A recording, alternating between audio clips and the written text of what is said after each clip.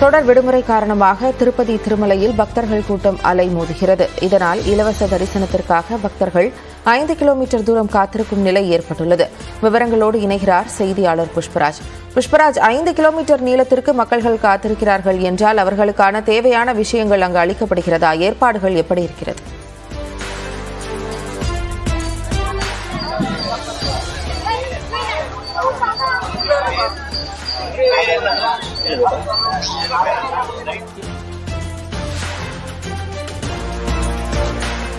திருப்பதி திருமலையில் பக்தர்கள் கூட்டம் ஒவ்வொரு நாளும் அதிகரித்து வருகிறது. இலவச தரிசனத்திற்காக ஐந்து கிலோமீட்டர் தூரம் வரை மக்கள் காத்திருக்கும் நிலை ஏற்பட்டுள்ளது.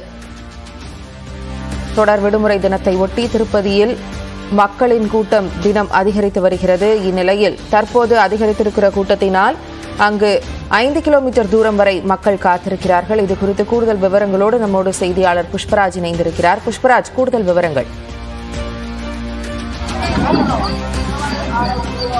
ஜெனிஃபர் திருப்பதி மலைக்கு ஏழுமலையானை வழிபடுவதற்காக வரும் பக்தர்களின் எண்ணிக்கை கடந்த இரண்டு நாட்களாகவே அதிகரித்து காணப்படுகிறது. இதனால் அது பக்தர்கள் கூட்டம் அதிகரித்துள்ள காரணத்தால் முன்னூறு ரூபாய் தரிசனத்திற்கு சுமார் நான்கு மணி நேரம் காத்திருந்து ஏழுமலையானை வழிபட வேண்டிய நிலை ஏற்பட்டுள்ளது. மேலும் இலவச தரிசனத்திற்காக தற்போது முப்பது மணி நேரம் படிக்கும் நிலையில் இலவச தரிசன தரிசனத்திற்காக குவிந்திருக்கும் பக்தர்கள் சுமார் ஆறு கிலோமீட்டர் நீள வரிசையில் காத்திருந்து ஏழுமலையானை வழிபட்டு செல்கின்றனர். இந்த நிலையில் பக்தர்கள் வருகை அறிவித்து அதிகரித்துள்ள காரணத்தால் வரிசையில் காத்திருக்கும் பக்தர்களுக்கு தேவையான அடிப்படை வசதிகள் அனைத்தையும் தேவஸ்தான நிர்வாகம் செய்து கொடுத்து வருகிறது. அவர்களுக்கு தேவையான உணவு குடிநீர் பால் டீ காபி பால் ஆகியவை உள்ளிட்ட அனைத்து வசதிகளும் செய்து கொடுக்கப்பட்டுள்ளது. மேலும் பாதுகாப்புகளும் பலப்படுத்தப்பட்டுள்ளது. இந்த நிலையில் அதிகமான பக்தர்களை திருப்பதி திருமலை இடையே போக்குவரத்து வசதி கையாளும் வகையில் ஆந்திர மாநில போக்குவரத்து கழக பேருந்துகளும் அதிக அளவில் அதாவது நிமிடத்திற்கு ஒன்று என்ற கணக்கில் தற்போது இயக்கப்பட்டு வருகின்றன ஜெனிஃபர்.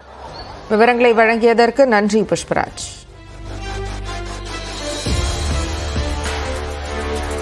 செய்திகளை தொடர்ந்து பார்க்கலாம். இடைவேளைக்கு பிறகு.